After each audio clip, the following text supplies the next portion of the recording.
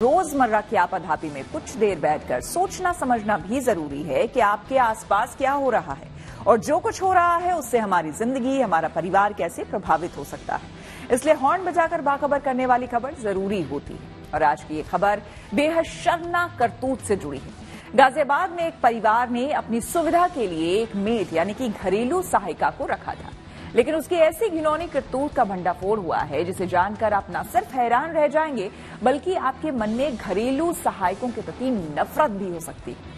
हालाँकि पुलिस की माने तो आरोपी महिला का कहना है कि घर के मालिक की डांट फटकार के चलते उसने घिनौनी हरकत की। दरअसल, वो खाना बनाने में यूरिन इस्तेमाल करती थी। ऐसे में ज़रूरी है कि खुद भी आप सतर्क रहें और दूसरों को भी सावधान करने के लिए हॉर्न बजाएँ।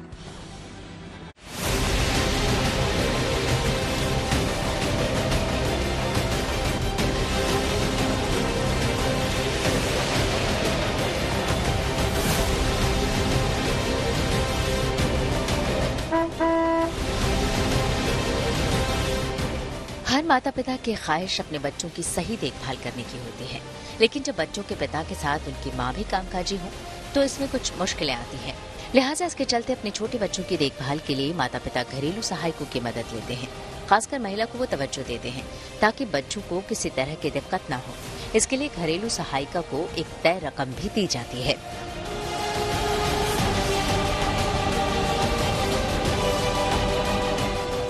बच्चों को भगवान का रूप माना जाता है तो महिलाओं को ममता की मूर्त। कई मामलों में ममता की मूर्त मानी जाने वाली महिलाओं को लोगों ने रखा तो बच्चों की देखभाल के लिए। लेकिन कई ऐसी घटनाएँ सामने आ चुकी हैं, जहाँ घरेलू सहायिकाएँ बच्चों के लिए ममता की मूर्त नहीं, बल्कि काल की सूरत जैसी साबित हुई।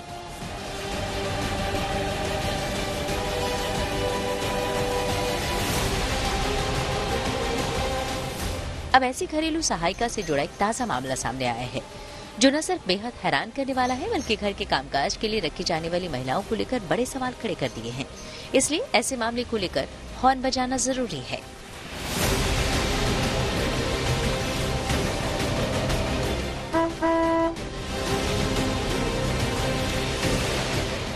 जरा सोचिए, अपनी सहूलियत के लिए आपने घर के कामकाज के लिए किसी महिला को रखा है।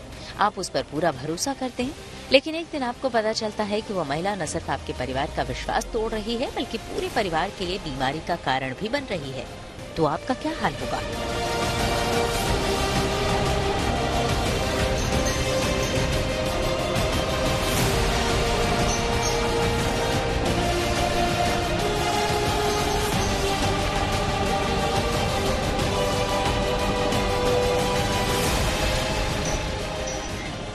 दिल्ली के पास गाजियाबाद से ऐसा ही एक मामला सामने आया है जिसमें खाना बनाने वाली महिला की बेहद घिनौनी करतूत का पर्दाफाश हुआ है।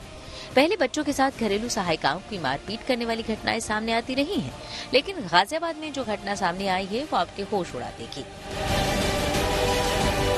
मामला क्रॉसिंग रिपब्लिक थाना क्षेत्र का है। यहाँ की एक सोसाइटी में रियल एस्टेट कारोबारी की पत्नी ने अपनी घरेलू सहायिका के खिलाफ थाने में एफआईआर दर्ज कराई है, जिसमें उन्होंने घरेलू सहायिका पर खाना बनाने में यूरिन इस्तेमाल करने का आरोप लगाया है।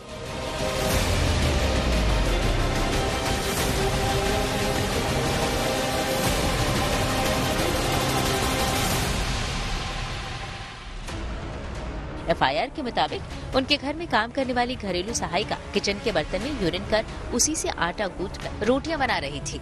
इसका एक वीडियो भी सामने आया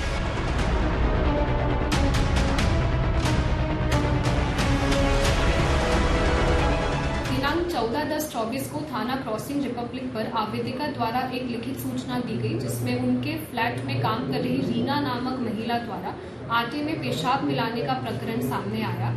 इस सूचना पर सुसंगत धाराओं में थाना क्रॉसिंग रिपब्लिक पर एक अभियोग पंजीकृत किया गया। तत्पश्चात अभियुक्ता की गिरफ्तारी हेतु पुलिस टीमों का भी गठन किया गया और दिनांक 15 दस चौबीस को उपरोक्त अभियुक्ता को जीएच सेवन सोसाइटी से थाना क्रॉसिंग रिपब्लिक टीम ने गिरफ़्तार कर लिया है एवं आवश्यक वैधानिक कार्रवाई प्रचलित है।